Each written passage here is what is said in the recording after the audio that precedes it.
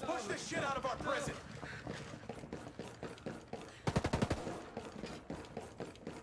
Stay focused. Drop those hostiles.